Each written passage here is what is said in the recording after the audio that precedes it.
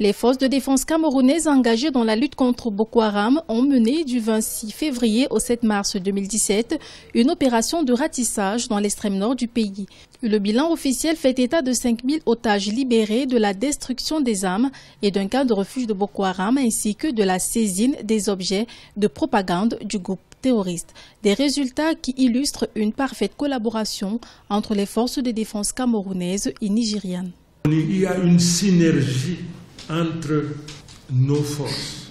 Tout ce que nous faisons se fait en harmonie avec les autorités nigérianes et c'est de manière concertée, de manière conjuguée que ces forces, mènent la bataille au niveau du front. À mesure qu'on avance, vous constaterez que cette victoire sera de plus en plus belle et grande.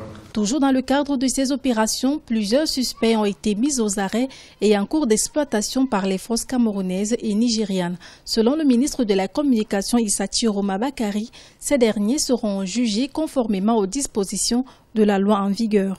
La loi antiterroriste, elle est précise, elle est claire. Quiconque pose un acte de cette nature, cet acte-là est qualifié de terroriste et la loi antiterroriste lui est appliquée.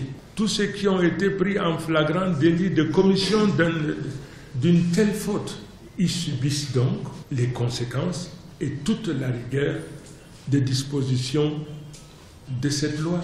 Face à cette victoire, l'État du Cameroun se félicite de la parfaite synergie entre les pays de la ligne de front regroupés au sein de la force multinationale mixte, une collaboration qui permettra de traquer l'ennemi jusqu'à son dernier retranchement.